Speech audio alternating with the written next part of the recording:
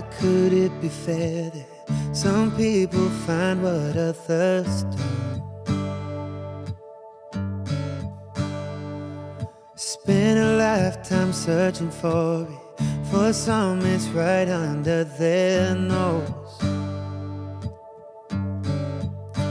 And they say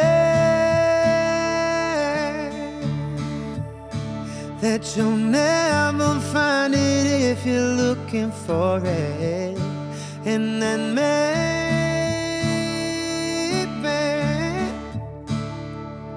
I'm just better off if I'm alone. If it's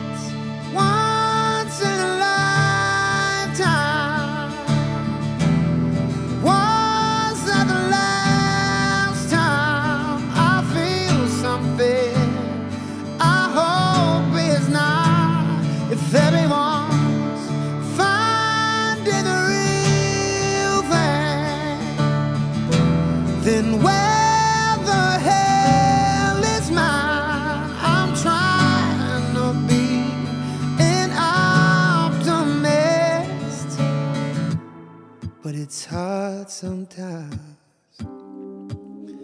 Still believe you're heaven sent, but don't know if there's a God at all.